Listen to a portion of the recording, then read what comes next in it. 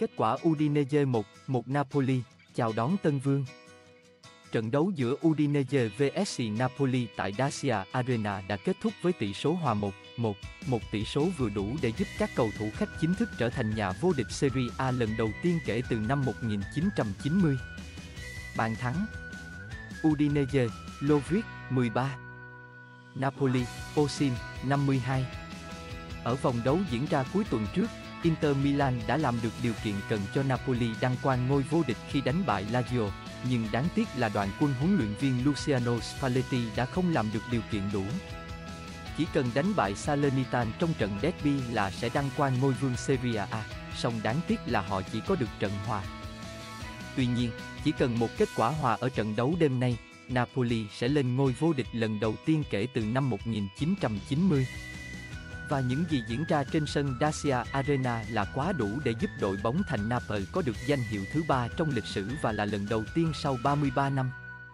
Chỉ phải đối đầu với chủ nhà Udinese gần như đã trụ hạng thành công, Napoli có cơ hội lớn để tìm kiếm một chiến thắng cho ngày đăng quang thêm trọn vẹn.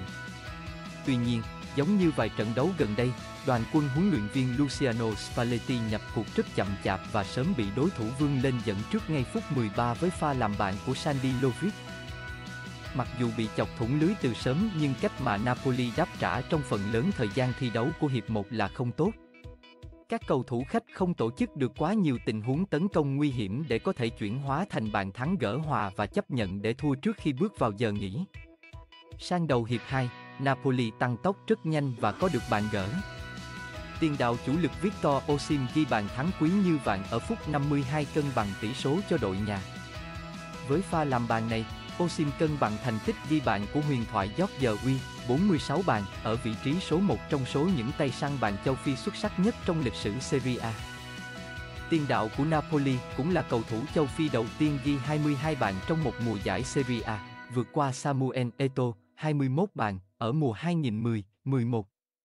Đội bóng của Spalletti đã giành danh hiệu thứ ba trong lịch sử sớm hơn 5 vòng đấu sau một chuỗi trận ấn tượng từ đầu chiến dịch.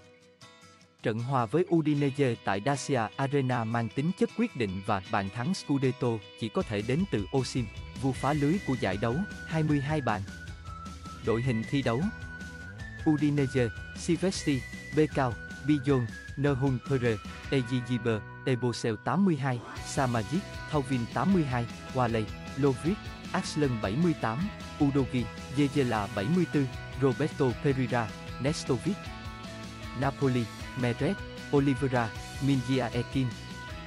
Ramani, Di Lorenzo, Nombel, Zielinski 64, Loboka, Anguissa, Varasekia, Lojano 86, Enmat, Osin.